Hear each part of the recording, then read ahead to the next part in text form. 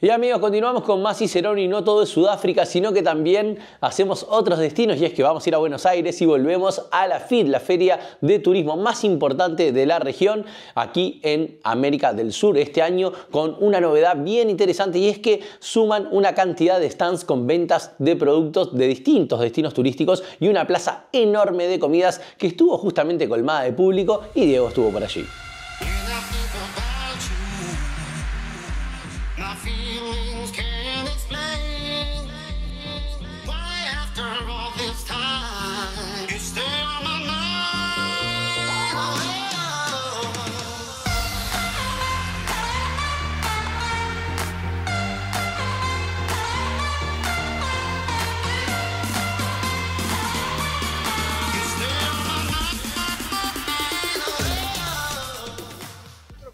interesante que estamos viviendo este año es este mega área de servicios de comidas. La verdad que es impresionante la cantidad de puestos y de food truck que encontramos en el lugar. Hacía muchos años que yo no veía una concentración de tanto público con una diversidad gastronómica como esta, ordenado, prolijo, con muy buena calidad.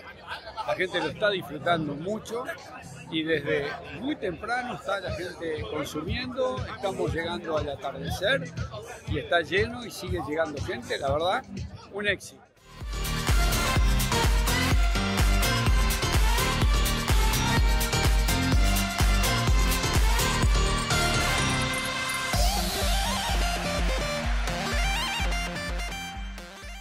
Que viajar hay que viajar asegurado y garantizado. Y Coris, que hoy está presente con una promoción fenomenal.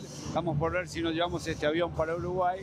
Pero la verdad es que cada vez más pasajeros optan por el seguro de Coris y nosotros felices que lo manejamos y lo manejamos muy bien en Cicerón. Sí, la verdad que, bueno, gracias por, acercarte al stand del grupo. Eh, hicimos esta apuesta también como para posicionar a la marca. Si bien el, producto de asistencia al viajero eh, post pandemia tomó creo que una relevancia digo, y, el, pasajero exige viajar con una asistencia al viajero. Eh, realmente Coris, eh, con casi ya más de 20 años en el mercado, logró un posicionamiento no solamente en Argentina, sino también en Uruguay, en Chile, en Colombia, en Perú, que recientemente también abrimos la operación. bueno, dando justamente la importancia de contar con un producto para, para cada viaje. Certe mattine non so proprio cosa mi passa. E guardo fuori mentre sposto una tenda bianca. E guardo il panorama.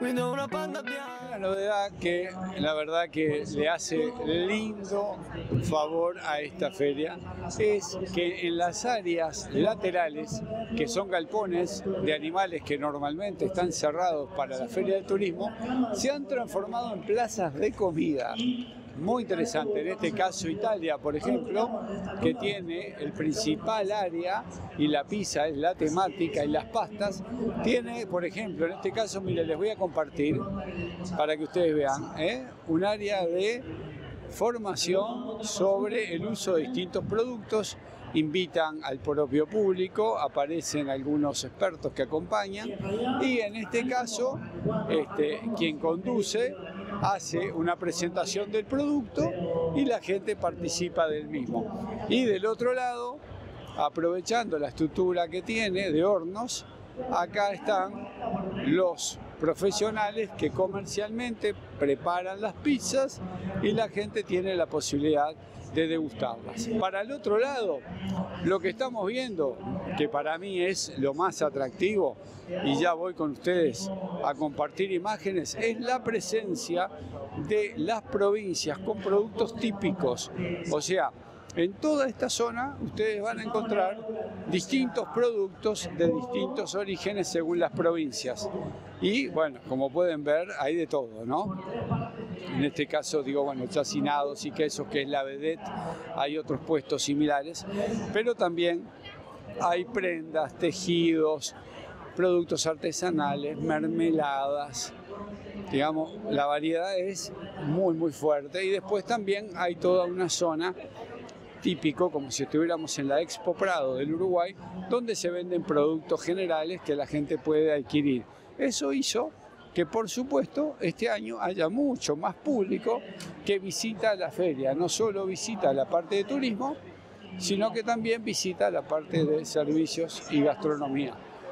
¿no? Hay gente comprando por allá aceites de oliva, aceitunas, panificados. ¿eh? Miren, acá tenemos la panadería del lugar, ¿no?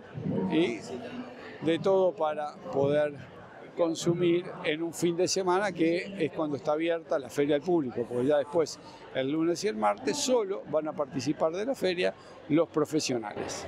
Sapessi come a casa mia adesso che non ci sei più. Vorrei quasi buttarmi via, tu porti il tuo cane giù. Vai sempre a Santa Maria, la piazza che ci dice addio. Russo canta sole mio, tu non sei il sole mio Il solito menù. Che ci hanno fatto i filtri su come facevi tu. Magari è solo déjà vu, un déjà vu che ho avuto quella sera. E mentre il sole sale, sale, sale, sale su E a chi ci vuole male, male, male una macumba Che mi frega a me, mi basta che Es un destino que siempre les invitamos a compartir. José Antonio, en este caso, representante de Portugal aquí en la FIT, nos recibe y está bueno tener la oportunidad de compartirlo hoy, sobre todo con una imagen que ustedes ven parcialmente que tiene que ver con un transporte muy particular de Lisboa. muy pero muy particular. Estamos hablando de que el tranvía o eléctrico, como lo llaman en Portugal, eh, estamos hablando de que es de fines de 1800, ¿sí? 1873 comenzó eh, siendo tirado por caballos y en aquel momento se llamaban eh, los americanos. ¿Por qué? Porque los tranvías de ese momento eran tirados por caballos y los tranvías eran de Estados Unidos traídos. A partir de 1903 transformaron lo que es los tranvías a eléctricos y bueno, hoy en día el tranvía como el que tenemos aquí, el 28, que es el más popular, podemos decir que no solamente transporta a, a los transeúntes y visitantes diarios de Lisboa, sino que también a los eh, propios y extraños eh, turistas, ¿no? Así que bueno, tenemos opción desde que nos pasea desde lo que es el bajo, el centro, y nos puede llevar hacia el barrio de Alfama también y a distintos miradores, ¿no?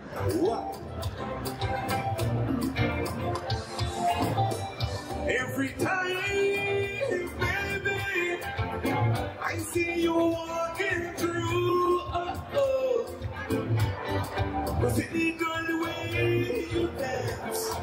Feel like dance with you, hey, baby. I feel like dancing. I feel like moving. I feel like shouting, hey, my baby. I feel like whining. I feel like moving. This music night and day. Baby. Y sin lugar a dudas, Palermo es una de las zonas más pintorescas, si no la que se lleva los grandes galardones en Buenos Aires, y es el pulmón verde que además tiene esta ciudad. Una de las zonas con áreas verdes más atractivas en las que se encuentra también el famoso jardín japonés, que si no lo conocen, los invito a conocerlo.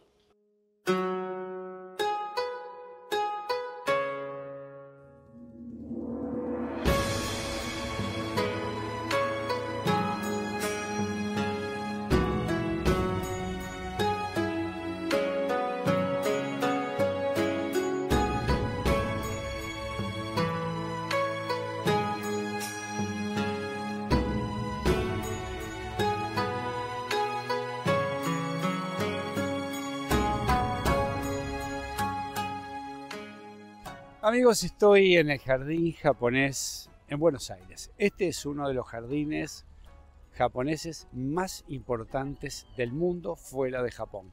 Es realmente impresionante. Es un paseo de esos que cada vez vienen más turistas extranjeros a realizar y que quedan maravillados por la diversidad que tiene este jardín. Eh, Les voy a mostrar algunas cosas este, a medida que voy conversando con ustedes porque realmente bien vale la pena de observarlas. ¿no?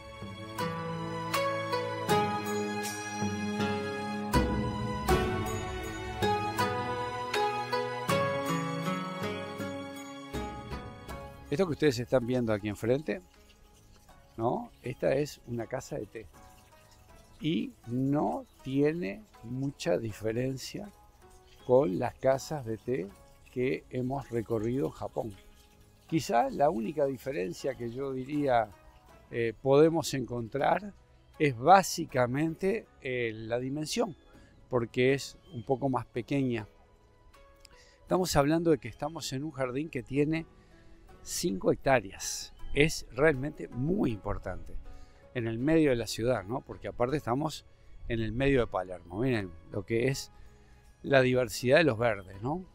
A medida que voy compartiendo con ustedes este, este audio, también voy compartiendo estas imágenes que me parecen fenomenales y realmente dan una muestra clara de lo que es el lugar. Está rodeada de estanques, como ustedes pueden observar, en este caso no son estanques navegables quizá como los que podemos encontrarnos en los principales jardines de Japón, pero sí tienen las mismas características, ¿no? con caminos serpenteantes, eh, a lo largo del recorrido más de 150 especies de árboles, arbustos y libustros. Impresionante. Bueno, las típicas carpas, ¿no? Vamos a ver si nos acercamos un poquito para eh, compartir también este, parte de lo que es el atractivo para grandes y chicos, ¿no?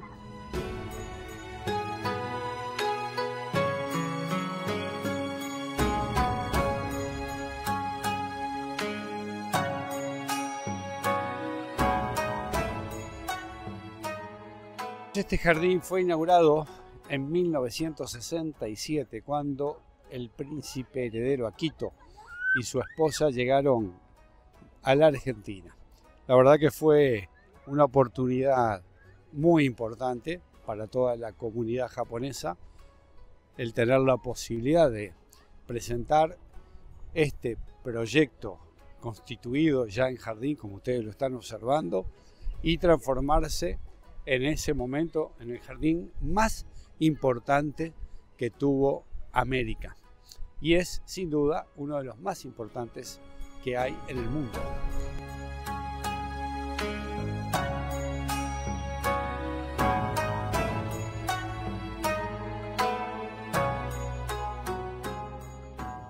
Tiene otra particularidad y es que es muy económico, ¿no? Estamos hablando de que un ingreso a este lugar está en el orden de los dos dólares.